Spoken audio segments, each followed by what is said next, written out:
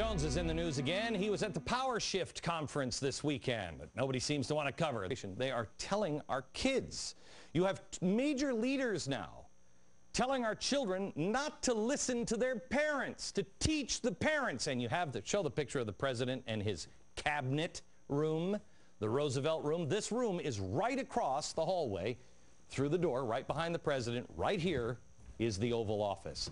This is where the cabinet meets or doesn't meet, as it is in the case with the President of the United States currently.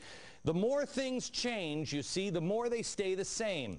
These radicals are the same radicals that used to tell each other in the 1960s, don't trust anybody over 30. Don't trust your parents. Bill Ayers said, kill the parents. Kill your parents.